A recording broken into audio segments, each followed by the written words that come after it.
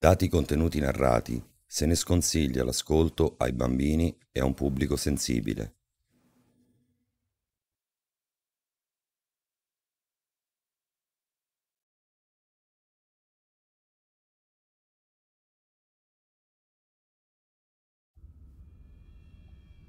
Il mistero dei bambini di Rebiribo 00 Capitolo 9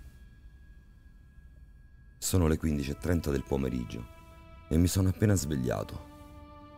Quello che è successo ieri mi ha sconvolto. Tentai di chiamare Mario, ma c'era la segreteria. Misi da parte l'orgoglio, mi recai in macchina e sfrecciai verso la casa di Mario. Stranamente la porta della sua casa era aperta Provai ad entrare e c'era un bordello assurdo. C'era mezza casa sottosopra. C'era tutto, tranne che Mario. Girovagai nella casa, ma nulla. Non lo trovai. Strano, lui sta sempre in casa e soprattutto è molto ordinato. E la cosa più importante è che non lascia mai la porta di casa aperta. Riprovai a cercarlo in casa e alla fine entrando in cucina sentì un odore tremendo e spostando delle sedie che erano in mezzo alla cucina vidi delle scale. Così scesi. Quello che vidi mi fece letteralmente cagare sotto. Vidi lui, riverso in una pozza di sangue. Era aperto in due e di fianco al suo corpo vidi una motosega. Mi misi a piangere e mi gettai sul suo corpo e notai un bigliettino che teneva in mano decisi di leggerlo. Ciao Matteo, quando leggerai questo biglietto, io probabilmente sarò già morto, ma ti giuro, non ce la facevo più. Loro mi perseguitavano dalla mattina alla sera. Mi minacciavano di uccidermi se provavo a chiamarti. Ecco perché non rispondevo mai.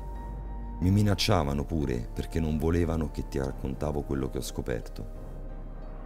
E purtroppo non ho potuto scriverti quello che ho scoperto, perché mi stanno guardando e tengono in mano dei coltelli, pronti ad uccidermi nel caso ti scrivessi quello che ho scoperto.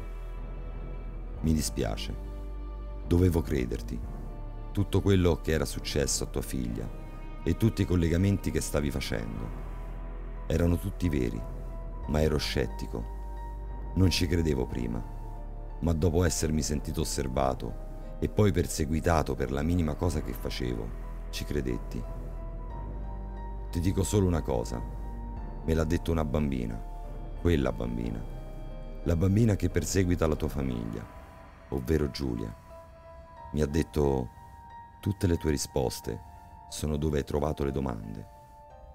Un'ultima cosa, un mio collega crede in queste cose strane, si chiama Mattia Tisker il suo numero di telefono è... E leggo il numero di telefono. Chiamalo in caso ci fossero dei problemi e se scopri qualcos'altro.